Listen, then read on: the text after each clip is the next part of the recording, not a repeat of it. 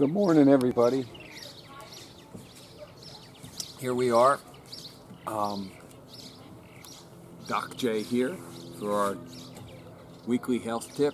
And today we're going to talk about vitamin D. Again, yes, how often do I talk about vitamin D for you, with you guys? A lot, because vitamin D is extremely important. Um, excuse me, still waking up a little bit here this morning. Vitamin D is extremely important because, as we've talked about, it is an immune enhancing supplement. Right? Vitamin D has major links to immune system function, so it can help you to be healthier, help you to fight off viruses, any, especially you know with the current situation going on here with COVID-19. It is important to get vitamin D. Vitamin D is manufactured in your body from sunlight exposure. So if you, you want to lay out in the sun and get all the nice hot warm sun and healthy sun exposure that you can, that's one way of making vitamin D in the body. The other way is taking vitamin D supplements. So while vitamin D is important for immune system function, it is also a vitamin that contains anti-cancer properties. So it's been shown to lower your risk for certain types of cancer, including colon cancer and um, prostate cancer and things like that. Vitamin D is great for your bones and for your teeth. But now new research is showing that low levels of vitamin D are linked to opioid addiction. Yes, can you believe that? What they found in animal studies is that low levels of vitamin D, animals tended to crave opioids and then become addicted to them. So this this finding is is monumental in that it could be a possible treatment for opioid addiction. Um, can you imagine the impact? Vitamin D is, is, is so inexpensive, it's not even funny. And opioid addiction is, is, uh, is one of the biggest problems in our country right now because it's, um, you know, it affects so many people and the treatment for opioid addiction is hugely, hugely expensive. So they found in the animal studies that if um, they were able to raise the vitamin D levels up, they were able to curb cravings um, and have the animals not be addicted to, to the opioid. So that's really, really good. So vitamin D is, um, you know, it's, it's, it's just another study showing how crucial this vitamin is in your, in your overall health and life. Um, as I said, vitamin D is manufactured from the sun, and the sun, it's a beautiful day today, so I will get my vitamin D through that. But in the fall and the winter time, um, you're not getting a lot of sun, so your vitamin D level's lower. So that's why supplementation is so important. And it's not just so important important to just take, you know, one vitamin D. You have to take the right amount for your body weight and it's 35 units per pound of body weight. So typically in the wintertime, I'm taking, um, you know, seven, 8,000 units a day for myself. So that's what you have to consider. And now in the summertime, you know, I do still take supplemental vitamin D, but I lower it down to 1,000 units a day because I do get a lot of sun exposure. I'm out in the yard, I'm on the boat, I'm fishing, you know, we're in the pool, we're at the beach. But I also, it's also important to remember you have to get healthy sun exposure. You know, you don't want to burn your skin. You can get, you need to get 20, I mean, you need to get at least 30 minutes of uh, healthy sun exposure, full body exposure. That means, like sitting right here in a, in a shirt, you know, in pants, you're not getting full body exposure. You have to be in your bathing suit. You know, you have to, you have to have most of your skin showing to get the vitamin D. Um, but you don't want to burn your skin. So that's why 30 minutes is, a, they've shown is enough time to manufacture vitamin D, 30 minutes a day. After that, then you can cover up, you can put your, um, under, sit under your umbrella, put your sunscreen on, things like that. So as far as this week's health tip goes, vitamin D is um, again shown to be a crucial supplement that's important and everybody needs to consider taking it. Um, I've advocated it. I'm a big advocate advocate of it right now during the coronavirus pandemic, and um, and I'm just an advocate of it in general because all the studies and research point to it being very beneficial. So that's it for my health tip of the week right now. Maybe what I'll do, since it is such a nice day and it is a new spring season of the year, 2021, um, we'll take a little tour of the yard and the garden again for your video pleasure, okay? So just hang on, take a look at the bay back there. And let's take a little bit of a walk. So you can see the back bay view here at Zimmyville.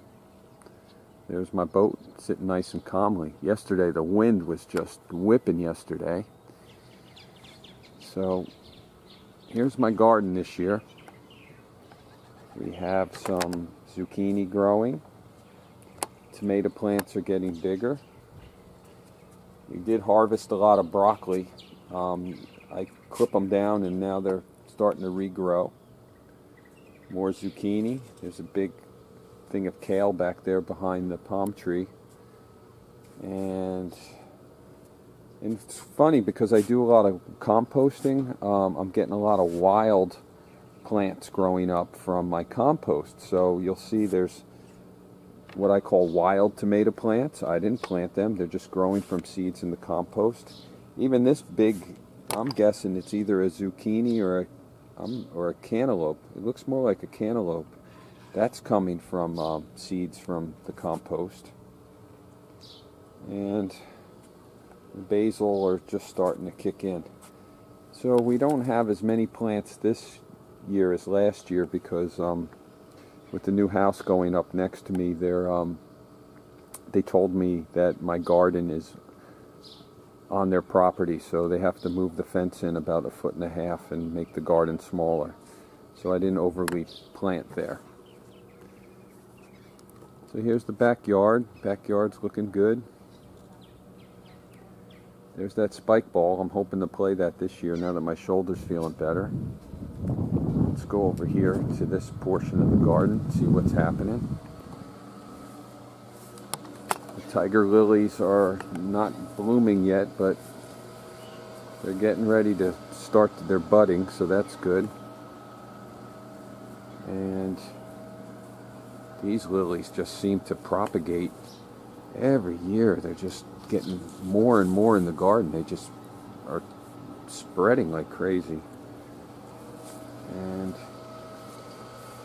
and this thing right here is a weed. So I may just let that go and see what happens. It's damn big. I had to redo the pond this year. The There was a leak in it, so we had to take everything out and I put a, a new liner in and now it's doing really well. And it explains like why last year the water kept disappearing on me. Pool water is very chilly after the huge temperature drop we had this weekend. Got warm last week and then all of a sudden Friday and Saturday it's in the 60s. So the water um, temperature dropped. I didn't plant a lot of marigolds in here this year because this plant comes back every year and it's getting bigger and bigger.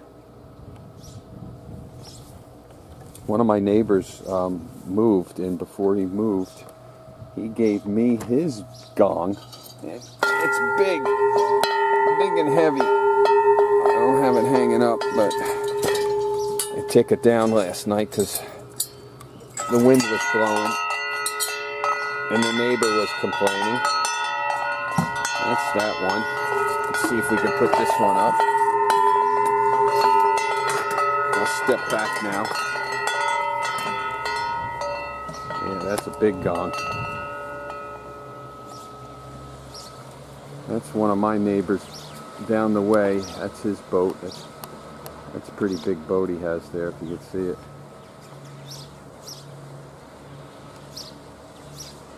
got double engines on the back.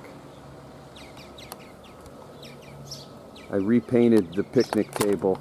Uh, last year it was sort of walnut and now I did it bright yellow to make it look resorty and then got the old lounge chairs were old and rusted out so we got some new ones with colors to match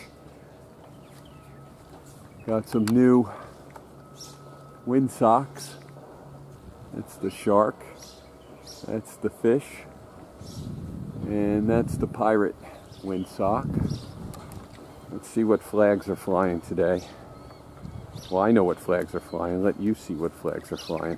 Oh, there's Clark, too. Where's Clark? Hey, Clark. What's up, buddy? You want to say hi? Say hi to everybody? How you doing, pal? What are you doing? What are you doing, buddy? Yeah? You stuck? You don't know what this is? So, let's see. Here's the flags flying. Oh, I'm going to sneeze. Hold on. there we go. All right, we got Batman flying up there underneath the American flag, and that is the uh, Pride flag, LGBT Pride flag. We're flying that. It's Pride Month, so we want to support. So everybody that goes by can see that we're supporters. LGBT Pride and Batman. Got to be a Batman supporter. And yesterday the Clark saw some ducks and he went running down the dock and I said, Clark, don't you dare, don't you dare. And damn it, he jumped right in.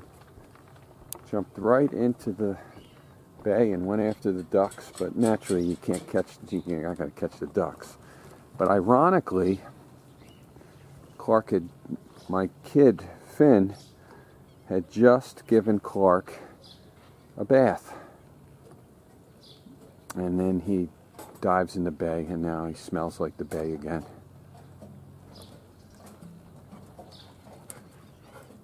So it is a nice day today. It's a Sunday.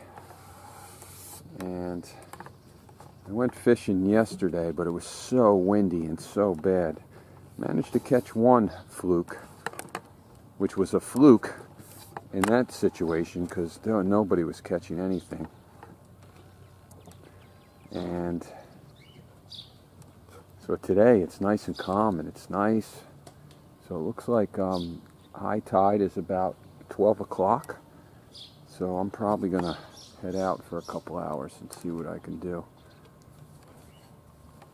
Now, last year we had an empty lot next to my house and now I have a house next to my house. Neighbors still haven't moved in yet. I think next weekend is their move-in date. But